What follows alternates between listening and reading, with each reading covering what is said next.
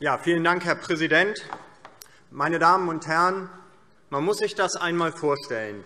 In diesen Wochen diskutiert ein ganzes Land darüber, mit Blick auf die Herausforderungen durch die Corona-Pandemie, wie muss unser Gesundheitswesen aufgestellt werden. Es wird diskutiert, welche Fehler sind in der Vergangenheit gemacht worden, wie können und müssen wir wieder mehr gesellschaftliche Verantwortung für unsere Krankenhäuser übernehmen.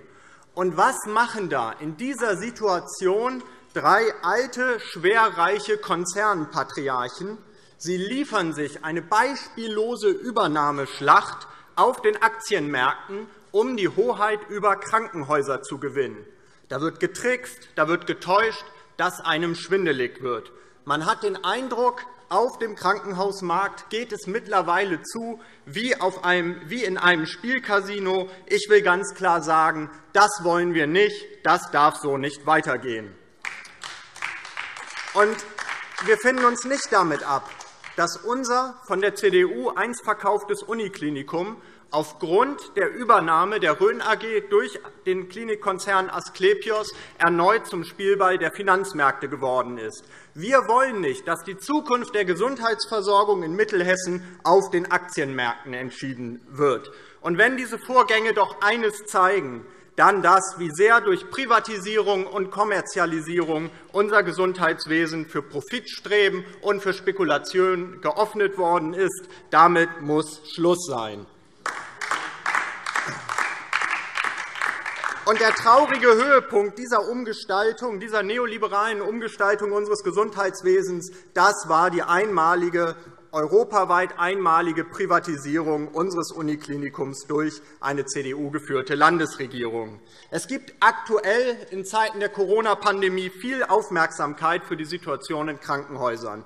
Und es ist schön, wenn Beifall für Pflegekräfte in der Gesellschaft viel Zustimmung findet. Es reicht aber längst nicht aus. Gerade jetzt verdienen die Kolleginnen und Kollegen unseres Uniklinikums sowie alle Beschäftigten im hessischen Krankenhaus- und Gesundheitswesen unseren Respekt, Dank und Anerkennung für ihre unermüdliche Arbeit.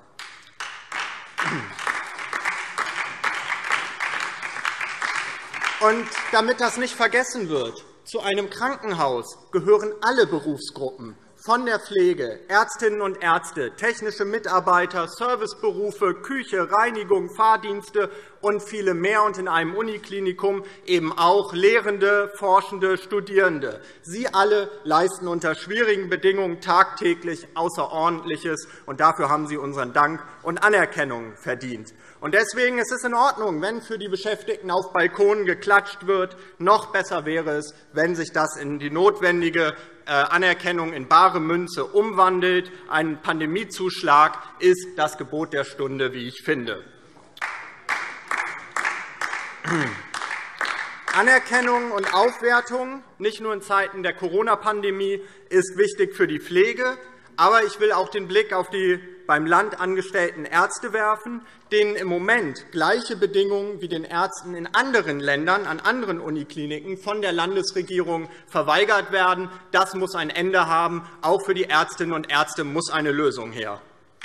Aktuell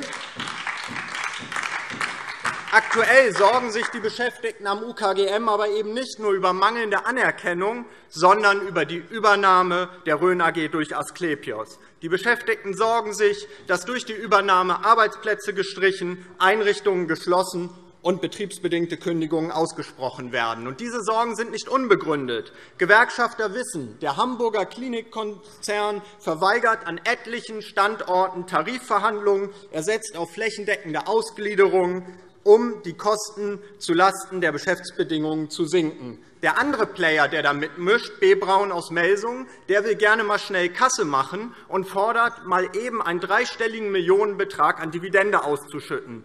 Die Zeche dürfen dann die Beschäftigten und die Patienten zahlen. Ich finde das eine Ungeheuerlichkeit, meine Damen und Herren. Und während sich die alten reichen Männer um Macht und Geld zoffen, hört man von der Landesregierung und der zuständigen Ministerin nichts, aber auch gar nichts zur drohenden Übernahme. Und es ist ja nicht so, als würde es auch ohne die Übernahme nicht schon genügend Probleme am UKGM geben. Steigende Fallzahlen, im Verhältnis dazu immer weniger Personal, Überlastung, hunderte Überlastungsanzeigen, die in der Vergangenheit kaum zum Ende verfolgt worden sind, Überstundenberge, die nicht abgearbeitet werden, Betriebsräte, die den Notstand ausrufen. Darüber haben wir ja hier vor einigen Monaten auch diskutiert. Damals haben die GRÜNEN im Landtag den Hilferufen aus dem Klinikum sogar jede Glaubwürdigkeit abgesprochen und sie als Notstandsrhetorik verunglimpft. Ich finde, so kann das nicht weitergehen. Die Landesregierung hält immerhin noch 5% am UKGM. Sie hat sich viel zu lange einen schlanken Fuß gemacht, und das muss sich endlich ändern.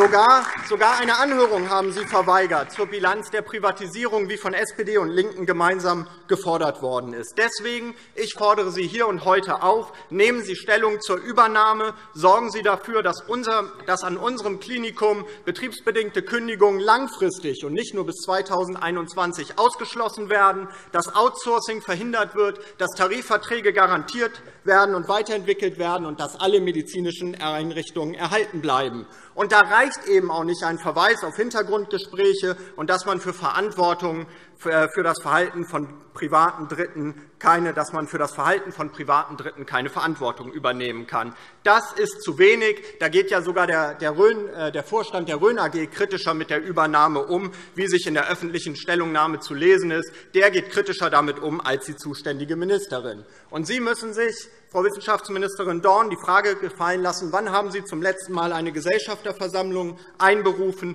Das wäre doch eine konkrete Möglichkeit, um Einfluss auch auf die Zukunft unseres Klinikums zu nehmen. Die Debatte im letzten Jahr hat aber leider gezeigt, Sie vertrauen mehr den Zahlen der Geschäftsführung, den Zahlen eines Aktienkonzerns als den Schilderungen der Belegschaft. Stolz verweist die schwarz-grüne Landesregierung auf ihre Vereinbarung zur Trennungsrechnung. Seit der Vereinbarung der Trennungsrechnung stecken wir jedes Jahr 75 Millionen € in das Klinikum, die Tendenz steigend. Vorher waren es rund 60 Millionen €. Dazu kam dann einmalig die Investitionspauschale von 13 Millionen €. Nehmen wir alle diese Zahlen zusammen, dann kommen wir ja seit 2017 auf die Summe von 240 Millionen €. Sie sagen hier immer, ein Rückkauf der wäre viel zu teuer. Gleichzeitig werfen Sie der Rhön AG immer mehr Geld hinterher. Ich finde, das passt doch nicht zusammen. Ja? Und es ist schön, dass die Landesregierung versucht hat, die Change-of-Control-Klausel zu verlängern, wie zu lesen war. Noch schöner aber wäre es gewesen, wenn Sie nicht einfach nur zugeschaut hätten, wie die Klausel ausläuft, sondern sich angestrengt und echte Rückkaufverhandlungen geführt hätten. Obwohl sich die Rhön AG 2006, wie wir alle wissen, darauf verzichtet hat, Investitionsmittel in Anspruch zu nehmen, hat sich die Landesregierung mehrfach bereit erklärt, über weitere finanzielle Mittel zu verhandeln. Wir sind der Meinung, öffentliche Mittel in Form von Investitionsmitteln dürfen dem UKGM und dessen Eigentümer, wer auch immer das ist, nur gegen konkrete Bedingungen und eine erhöhte Einflussnahme des Landes auch durch Aufstockung von Anteilen zur Verfügung gestellt werden, und nicht darunter kein öffentliches Geld ohne klare Zusagen. Und natürlich und natürlich werden Sie in dieser Debatte einwenden, dass nicht allein die Privatisierung, sondern die Unterfinanzierung und der Mangel an Personal das Problem im Krankenhauswesen sind. Da bin ich ja durchaus bei Ihnen, wobei bei einer privatisierten Klinik ja noch immer die Dividende für die Aktionäre hinzukommt, die da erwirtschaftet werden muss. Aber wenn Sie an den Rahmenbedingungen doch etwas ändern wollen, dann setzen Sie sich für Personalmindeststandards ein, wie das Pflegepersonalbedarfsbemessungsinstrument PPR 2.0, das Verdi mit der Deutschen Krankenhausgesellschaft, dem Deutschen Pflegerat verhandelt hat. Wo ist der Einsatz der Landesregierung für dieses Instrument, um die Bedingungen für die Beschäftigten und die Patientenversorgung zu verbessern? Und sorgen Sie doch gemeinsam mit uns dafür, dass das Fallpauschalensystem mit seinem irrsinnigen Kostendruck, seinen Fehlanreizen und seinem betriebswirtschaftlichen Kalkül endlich zugunsten einer bedarfsorientierten orientierten Versorgung und Finanzierung überwunden wird. Das ist eine ganz wichtige, zentrale Aufgabe.